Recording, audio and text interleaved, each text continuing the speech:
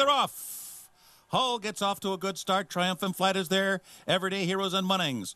So that's the vanguard there. Munnings in between horses. Triumphant Flight toward the outside. It's Everyday Heroes. And uh, farthest out there is Hull. Hull now third. Munnings is now fourth toward the inside. Kensai runs in fifth. This one's for Phil at the rail in sixth.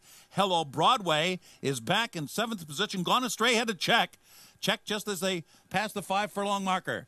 The pace is swift here, 22 and one fifth seconds. Everyday Heroes is pressing triumphant flight for the lead. Hull perched outside the lead third. Munnings in behind the lead, fourth toward the inside. Hello Broadway revving up now on the far outside. Kensai is in behind horses. This one's for Phil is bottled up toward the rail and gone astray. It's wide open now. They're coming to the top of the stretch. The half was 45 seconds flat. The field turns for home.